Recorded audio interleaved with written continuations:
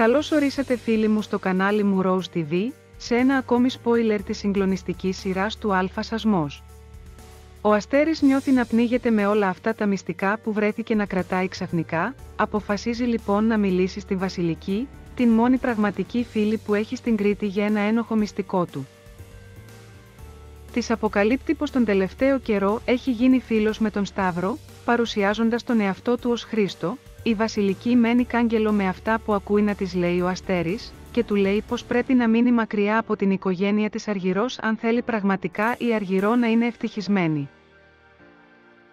Του λέει επίσης πως μετά από όσα έγιναν αν μαθευτεί κάτι τέτοιο τα πράγματα θα πάρουν ακόμη πιο άσχημη τροπή, μέσα της όμως η Βασιλική καταλαβαίνει τον Αστέρη, αφού για πολλά χρόνια ζούσε με τον πόνο, να είναι παντρεμένη με έναν άνθρωπο που δεν αγαπούσε και να μένει μακριά από τον έρωτα της ζωής της.